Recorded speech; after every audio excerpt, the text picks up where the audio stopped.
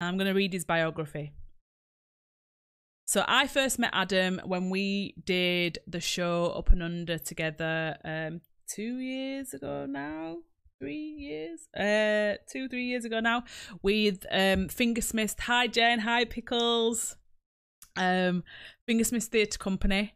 Um, so it was an integrated show, um, integrated with BSL and English speaking language. Um, and um, Adam's been an actor for a number of years. He produces his own films, um, Vanishing, Retreat. Um, he's um, I don't know if he's produced or or starred in this, but he he's he he's been involved with Yorkshire for Deaf Go to Blackpool, Deaf Victorians, Deaf Funny. Um, he's done. Uh, he's worked with a lot with Definitely Theatre. Um, done their Love's Labour's Lost, Midsummer Night's Dream. Um, he's oh, he was the winner in 2013 at the Deaf Fest Visual Vernacular Competition. That's interesting because we've got a little bit of visual vernacular coming up, and if you don't know what that is, you're gonna be amazed. Okay, it's a beautiful, beautiful style of. Is it a language? It's a, a physical language. Okay. Um, what else has he done? He's a massive rugby fan, so you know, big up the rugby league boys. Um, a proper man's sport, I'll tell thee. Oh, and he recently did, um, again with Definitely Theatre, he worked on Sarah Kane's 4.48 Psychosis, which got rave reviews around the country. Um, okay, so without further ado, here is my mate Adam explaining what he's been up to since lockdown. Um, how have you been since lockdown? Um, to start off, it was really hard. Uh, you know, you know, as a deaf person, kind of used to being isolated. The lockdown had resonance exactly the same. A lot of hearing people, it was the first time in their lives. But as a deaf person, I've experienced anyway. So I'd, it was, you know, not a huge amount of difference, I suppose. Um, so I just get on with it. Um, I still see my daughter. I'm still chatting with people on Zoom with all my deaf friends, and we're just chatting away in sign language. Um, I also work with ITV. I'm an in-vision interpreter, um, but under I've been furloughed now, so I can't go up to the ITV studios to do that. So that's one impact it's had on me. But every Monday, I'm a, a key worker. I'm supposed to see some clients and check they're okay. Um, and obviously, no, I can't do that. So that's that. So you know, what happens next? I don't know. You know, it's just impossible to to, to tell. I hope I hope it does resolve itself quickly. I really do. Yeah. Yeah, I was just speaking to Dave, who's kindly interpreting for me today. Um, we were talking about Zoom meetings and how everybody's become an expert, and you were saying how Zoom meetings are kind of full now, and there's a hundred little boxes, and everyone's trying to vie for attention. Oh yeah, I mean everybody. We're having games, we're having quiz nights, we're having pantomimes, we're having theatre shows, we're having you know, there might be 25 on one page and you have to scroll three pages across and then you have to scroll back again try and find out who's talking. You might be talking to somebody and somebody waving like a mad thing and banging the, the camera to try and get your attention you know? You can't shout it's impossible. You wave and then you've been waving till you're sweating. Oh, oh sorry i didn't see you there but it is nice to see the deaf community really engaging and every week there's something going and that's really nice. We are we are sticking together and that's fab. That's great. That sounds like um you're being really creative. I wish the hearing community were as creative. We are having like quizzes and things but i think we could go further. So my next question is going back a little bit. Tell us about your creative history and how you got into acting. Well, when I was young, um, I remember my mum. Um, she worked in in the Ritz video hire shop, you know, before Blockbuster, the old Ritz video hire shop. And she used to work there. So every week, you know, at the weekends, we'd get five VHS to watch. And I'd just watched them the whole avidly through the weekend, absolutely to the screen. There was no subtitles there, but I was looking at the facial expressions, I was looking at their body language and trying to pick up the plot. Eventually, as uh, the tubs they became subtitled, I realised that my storyline was different to their storyline. So you know that's a bit of a shock. But then I saw Charlie Chaplin, the old silent silent movies, and he was amazing because he never used his voice. It's all done through action. I thought, oh, I must be the same as me. That's brilliant. I was fascinated to start to copy all of his films, his movements, and I used to copy his movements back at school. And people said, "That's brilliant! You should become an actor, Adam." Anyway, I kind of dropped it. And I remember asking one of the teachers, and they were saying, "It's impossible. You can't be an actor." So feeling a bit gutted, really, left at that point. But eventually, I was at Hull College. I did a media course there, and just chatting away. And teacher said, you know, you can do this. That you are creative. You can do YouTube. You can. You can. You can. So I started doing a few YouTubes and filming and started doing that. I mean, technology was a lifesaver. Uh, people started to recognize me. And I, you know, people saying, well, do you want to come and join in this bit of film? And the first film was called Vanishing on website and that was part of the BSL zone. And my first acting role was that, so the, the BSL zone, and that was it. Absolutely, absolutely absorbed from that point onwards. But is it's the advent of technology that allowed me to achieve that.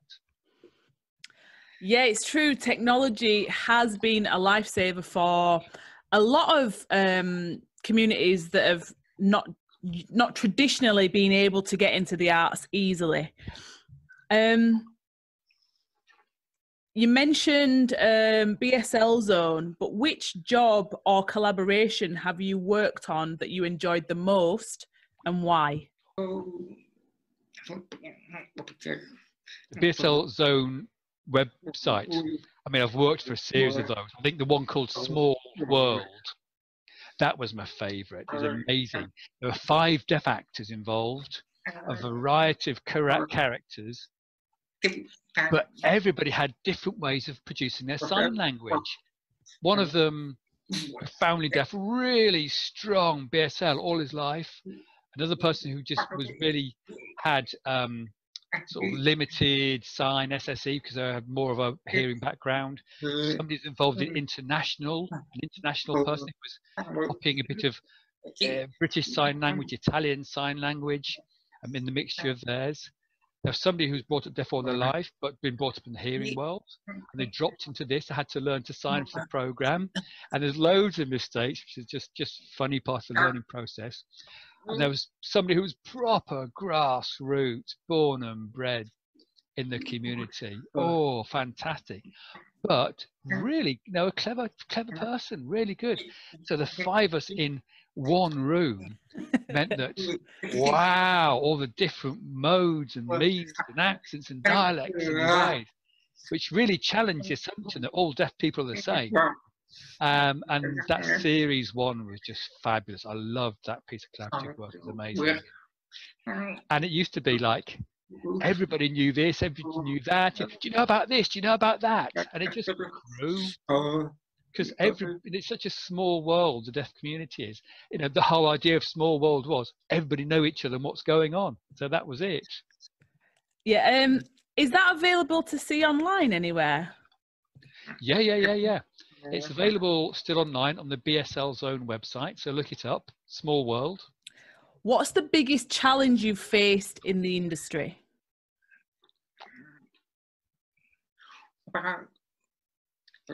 Ah, I suppose the first time, the very first film I did that, after that, was a fantastic. I want to do some more.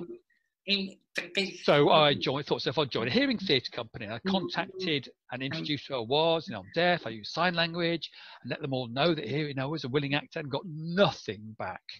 Absolutely nothing back. And I thought to myself that, you know, the real world was that deaf uh, actors were a marginalised community, and the the view was still out there in, in the industry that you know deaf people can't. So you get in a company and you know you try and think alternative way round and you think so how can we communicate without interpreters? And the first challenge to overcome is getting in. The second challenge is without interpreters how to communicate with each, with each other. But you soon get over that. But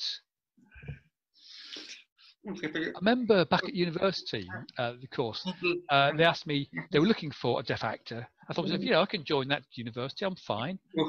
But we want you to come in, do that hand move thing. What? Hand move? What are you talking about? This is a language, sign language. So kind of that little patronising attitude is out there, you know, with 21st century, but people still don't get it. But now, you know, it's it's a growing industry. It, it, now where we are now, over the years, I think we're, we're in a very good place. Really, a lot of deaf actors involved in theatres, films, uh, and I'm really delighted where you know the, the place where we are at the moment. That brings me nicely to my next question. Actually, um, why is it important to have deaf representation in, in deaf acting roles or in deaf roles?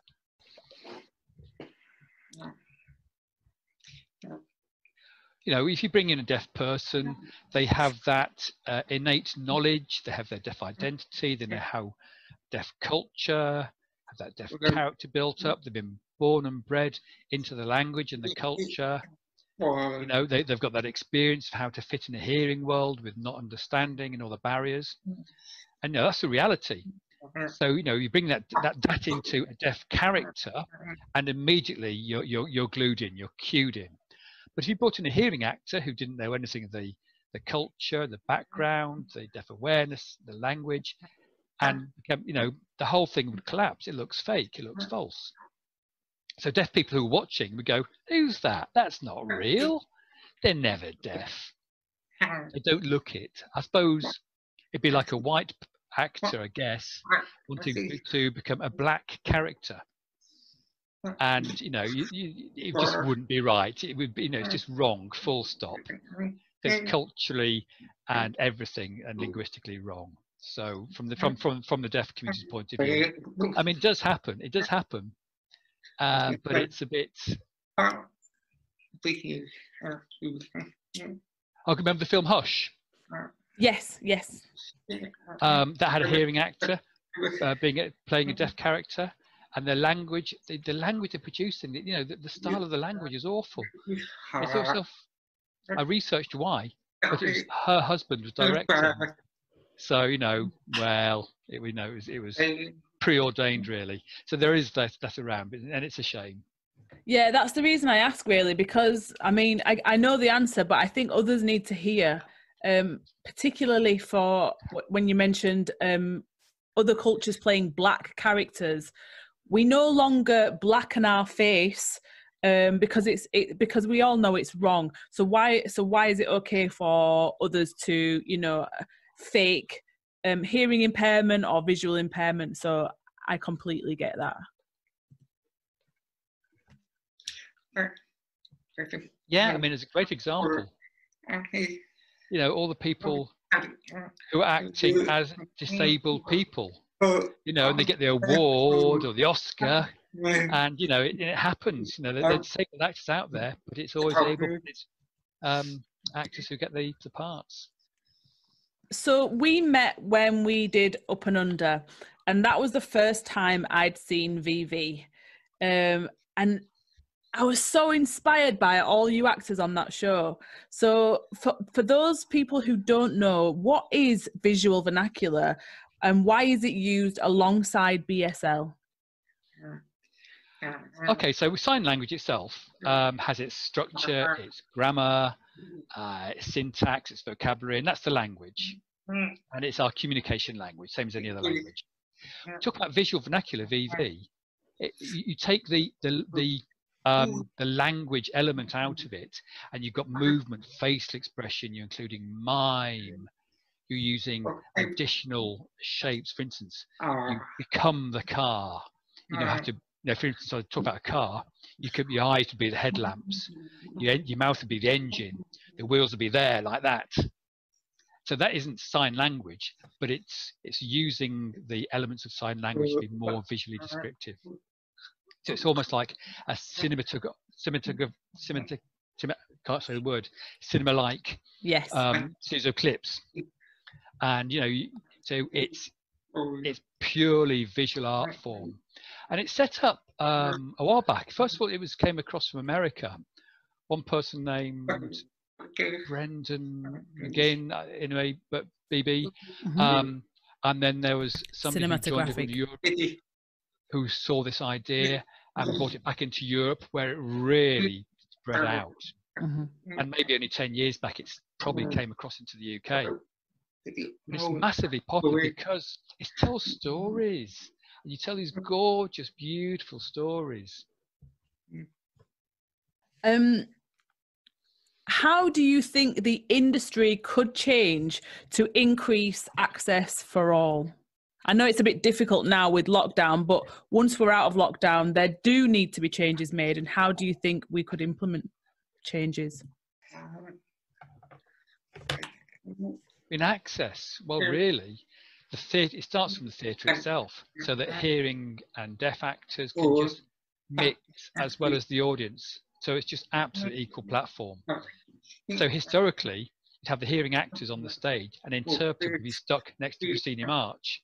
So deaf people have to look across to the uh, to the um, interpreter on the corner of the stage to understand all the dialogue, and it was horrible. It didn't work. And sometimes you see subtitles, the stage text, and again it's either at the bottom or at the top of the stage, and again you're still missing out on the experience. More recently, a show in Leeds, Oliver Twist, uh, was put on, and that was amazing. It was beautiful. Because what happened was the deaf people, the main characters, had a deaf main character. Uh, they were using sign language. Had Fagin, who was deaf. Uh, Oliver and Artful Dodger were deaf. It was fantastic. So it was, and the, the hearing characters were there, but also they were using gesture and they were using sign. Anybody who came to watch the show had full access. They could see some deaf actors. It wasn't labelled disabled theatre. It was just the story of Oliver Twist told in beautiful, beautiful, uh, integrated way. Unfortunately, lockdown cut it short after its first two week run at Leeds, and we're hoping it will come back again at some point. But yeah, having it integrated on stage is the way to do it. And but the deaf actors are really delighted because the the reviews were absolutely amazing. Um, you know, it might be the first time it actually said the actors, the characters were just that's it. In other words, they didn't normally they'd say something like, "Oh, so and so, the deaf actor using sign language," and they'd go on and on and on. But these reviews just said, or it might be that black actor was really, really good. But now these reviews just say, "Oh, um, Brooklyn Melvin playing Oliver Twist, fantastic," um, and Carol Parker playing Fagin, fantastic. There's no mention of any other characteristics apart from their skills as a, as a professional actor it looks like we are progressing in the right way. And I know um, our friend Stephen was in that, right? Was Nadim in that as well? But I know Stephen was in that. Yes, Stephen and Nadine were there. Yeah. And you know, I was working with them as well, supporting them. And you know, I'm just watching them doing their acting, and I want to try and give them advice. I was, I was, I was working as a, a, creative on the in the background, and able to support them. Um, my role there was I was assistant. Hang on, what was I? Assistant creative uh, director which meant I was able to mm-hmm. give some overviews about where they could just polish up some of the movement, some of the blocking, mm-hmm. to make sure it's accessible from a visual point of view, mm-hmm. and supporting the director Amy. And um, we had uh, BSL, two BSL consultants came in to make sure that the translations had been accurately done. Um, and you know had to make sure that uh, the hearing actors were understanding could use language that matched uh, the translations as well. It was fascinating it was brilliant. I really enjoyed it. That's so cool that um, theatres are now kind of taking on board that we need creatives from your community to be able to advise properly rather than ju- us just thinking you know hearing the hearing community thinking that we know how everything should be.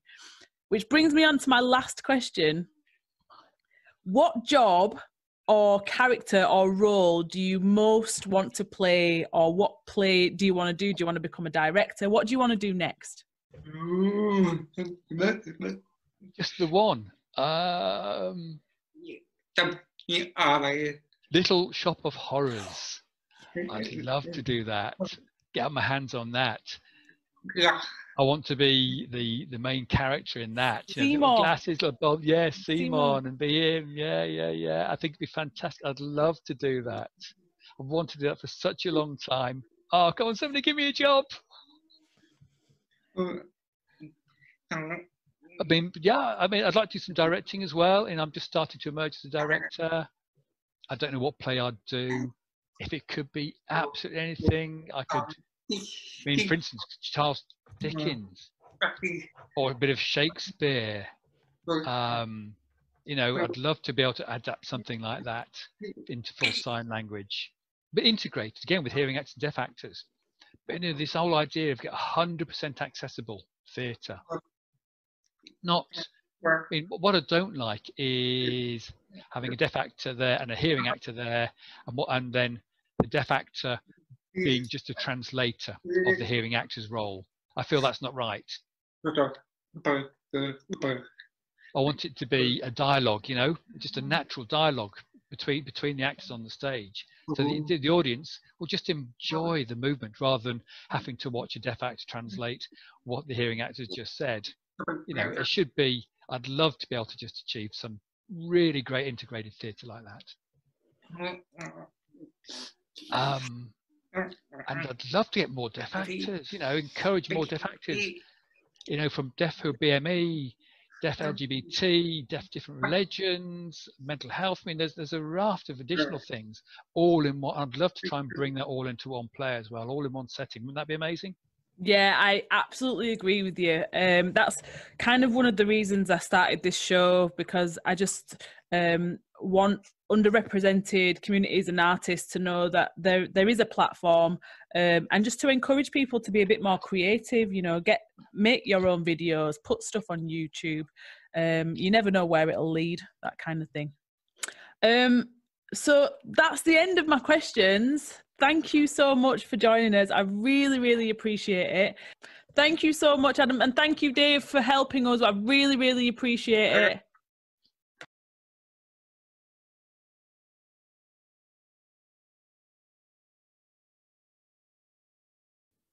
It's a very funny thing. When I was playing at Loughborough, I never got nervous. I never had a thought about the game, but oh, tonight I'm like a bag of nerves. I've been to the toilet, back to bed. I'm going to the toilet again in a minute. I'm sweating. Sweat's dripping down my brow. Even my palms are wet. I'll have to hope that I can, well, drift off to sleep. And there I am, playing at Wembley in the Challenge Cup final.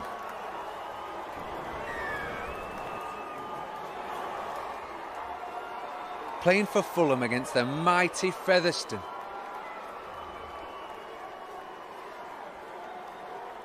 There's hundreds and hundreds of bloated red faces looking down on me. I'm on the wing and hundreds of yards away from the rest of the team. Featherstone look massive. I gaze up and catch flashes of their kneecaps. Oh, they run through to score. A glimpse sight of the hairs on the palms of their hands. We're losing. We need a try. There's, there's five minutes to play. There's an incident off the ball. Get off me, you fat pig!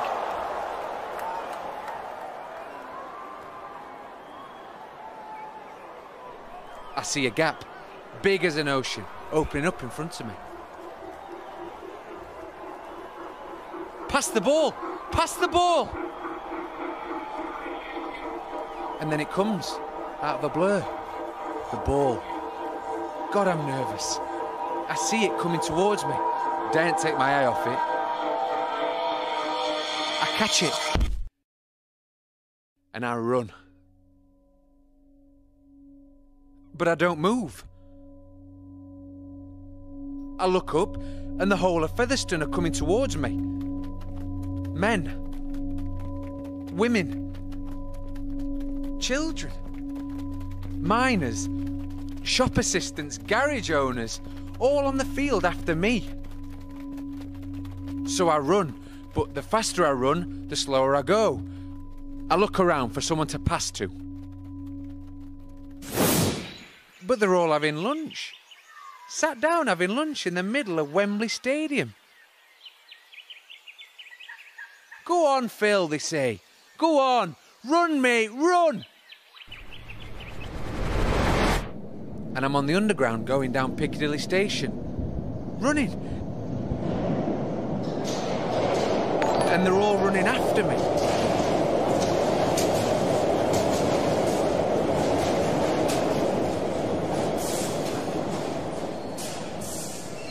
Then a policeman stops me. And I try to explain, but he wants my name and where I live. I hit him and I run.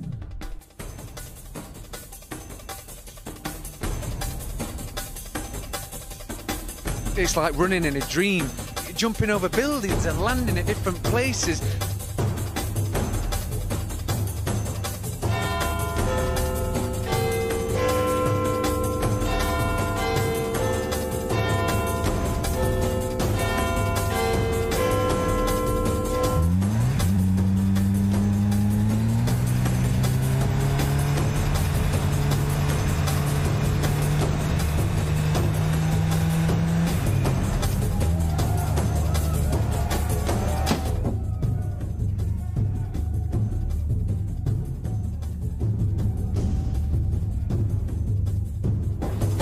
Wherever I land, they're still there, coming round the corner.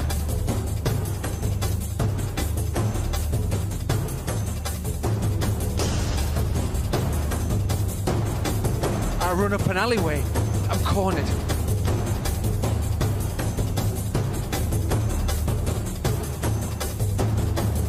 I look around at them. Trapped. So, I run towards them. I just close my eyes and run.